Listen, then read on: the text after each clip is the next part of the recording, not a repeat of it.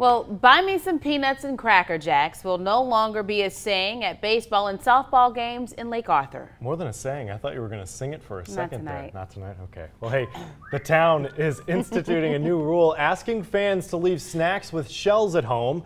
Mike Carter checks on how that new policy is working out. There's just something about peanuts at a ball game that's as American as apple pie. Won't be needing this anymore. Right, Billy, let's go, Billy. Come on. Let's get two. Let's turn two now. Come on. Good eye. Good eye. There we go. Hey.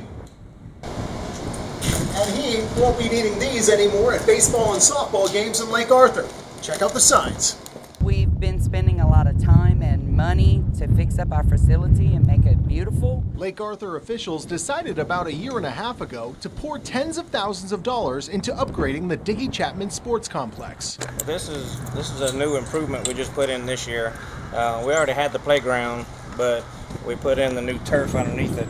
That turf and the cement underneath it cost about $18,000 to install. The turf is a lot of reasons why we're eliminating the the shelled products. Snacks with shells like Sunflower seeds, peanuts, pistachio nuts, any kind of shelled products.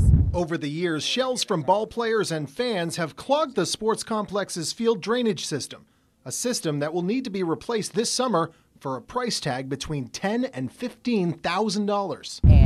And it takes away from the, the hard work that a lot of people are putting in to doing this for our town. The town says it's asking schools with players competing on the fields to follow the policy as well. And what do those players have to say about the new rule? Might start chewing gum. You never know. In Lake Arthur, Mike Carter, KATC TV3. Still root, root, root for the home team. There you She's go, going Jim. to join me, and then she said no.